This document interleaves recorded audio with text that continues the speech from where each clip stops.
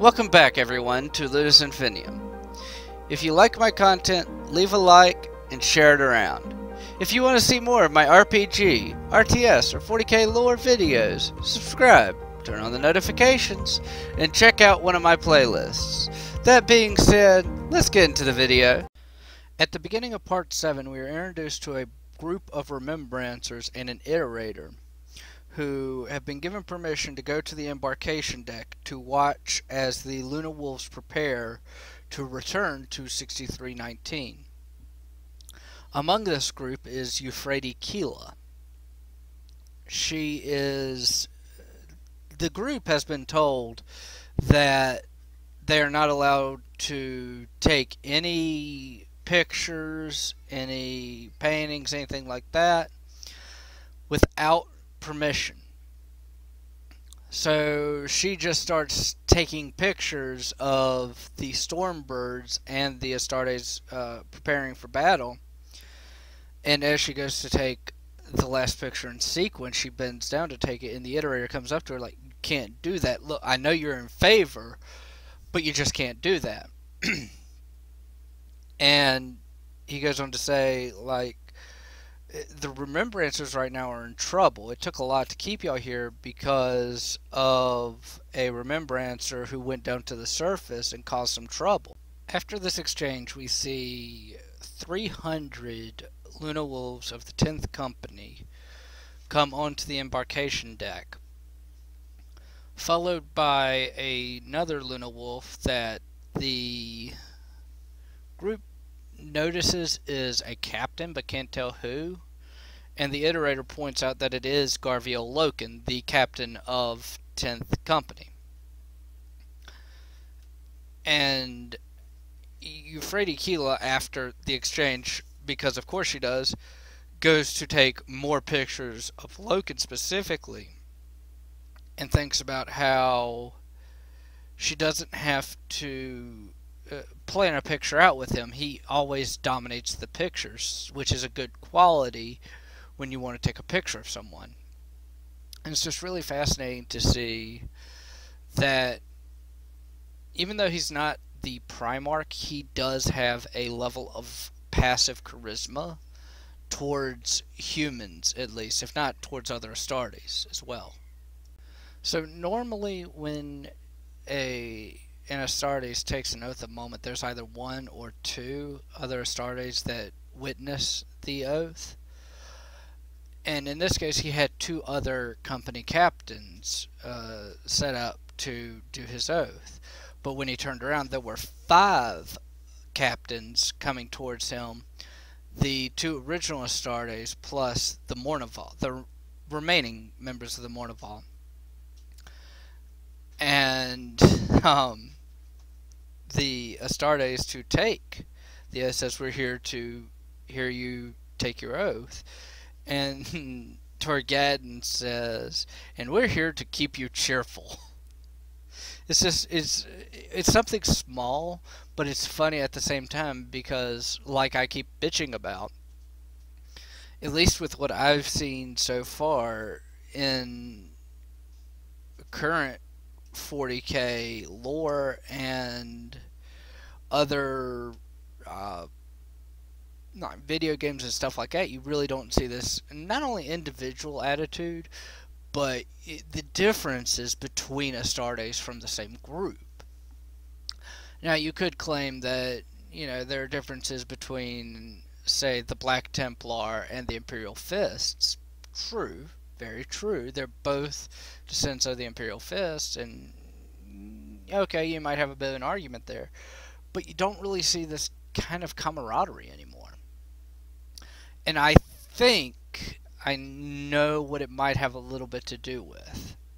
And this is actually from a video I saw two or three days ago. It was a video Arch Warhammer did on the Codex Astartes. And it it showed that how it changed the mindset of Astartes overall over time.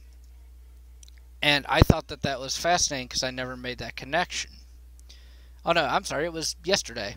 He released it yesterday, and I I couldn't make that connection. I didn't really think, you know, I, I knew it split up the legions into chapters and everything, but I never knew how much it effectively uh, changed the mentality of the Astartes as well. So I think that might have a lot to do with it. But I do find it kind of funny and a little sad at the same time. Not sad as in pathetic, but sad as in like kind of a downer because there's so much potential there. Um, for instance, in the uh, Space Marine video game, you kind of see it with Captain Titus. He's a good example of what I'm talking about. He's like, yes, this is just guideline. I mean, he doesn't really joke around or anything. He's not really uh, upbeat, but he is. Uh, he he reminds me of what an Ultramarine from 30k would be, whereas oh, what is his name? the uh, the little peon that follows you around. I don't know. I just know that Arch Warhammer calls him shit bucket. but uh, but he is the he is what I would call the classic 40k Space Marine, and I think it really sucks because even in those two, with that example, you can see the difference between them. Another exchange we see after Garviel Loken takes his oath a moment is Abaddon says, uh, basically, do a good job. And Loken's like, oh, I, I will. You know, I, I was planning on making a mess of everything.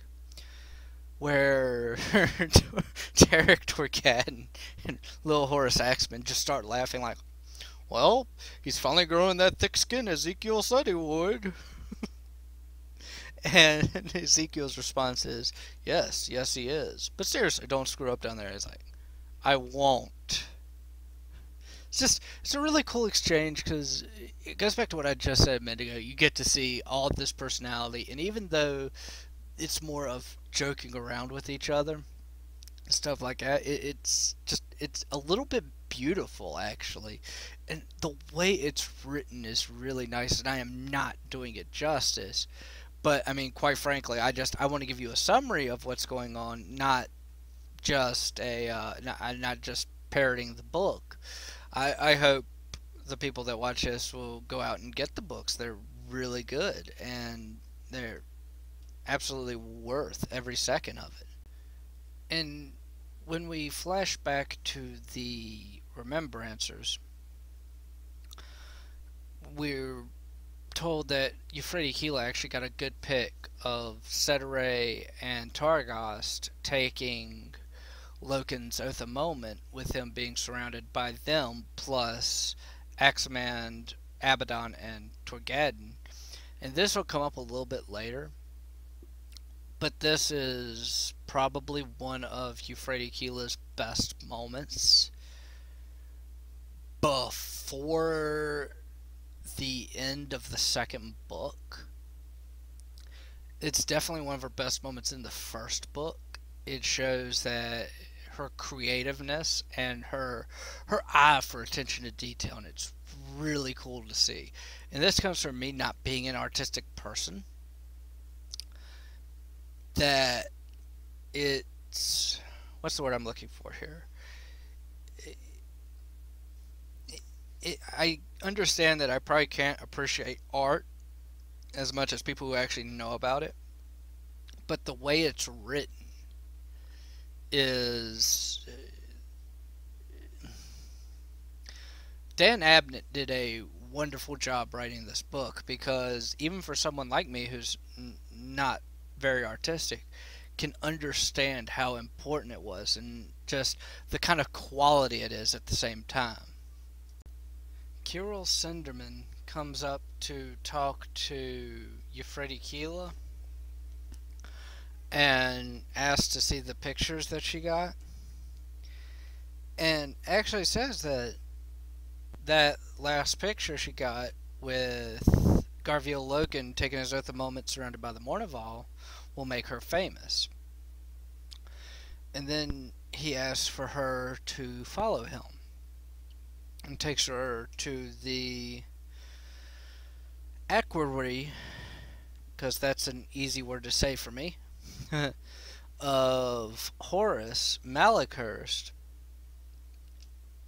to tell her that for a select group of remembrancers that they're going to let them go down behind the 10th company to basically um, to be able to take pictures as stuff is happening and basically give that a trial run but they worded a little bit differently it's basically uh, to see if the concept of remembrancers actually remembering events as they happen is a good thing or getting the story afterwards is a good thing. The last scene of the book, we get to see Garviel Loken going down to 6319 in his Stormbird. He goes up to the front of the Stormbird because they're having issues with their Voxes or radios. And they they can tell him that's atmospheric, but not where it's coming from. And the message is, I am Samus. Samus is the man beside you. Samus is all around you. And that's where this part leaves off. I hope you enjoyed it as much as I did. That being said, in the top left hand corner, I will leave you uh, my most recent upload. In the bottom left hand corner, I will leave you a playlist that I hope you enjoy. In the top right hand corner, I'll leave you Samus. I mean, the subscription button that way if you liked this lore video or and you want to see more of them or you want to see more of my RPG RTS playthroughs or again my 40k lore videos just click on that check out one of my playlists or any of my videos leave a like, share it around, and share some love. That being said, I hope you all have a wonderful day, and I will see you all in the next one. Bye!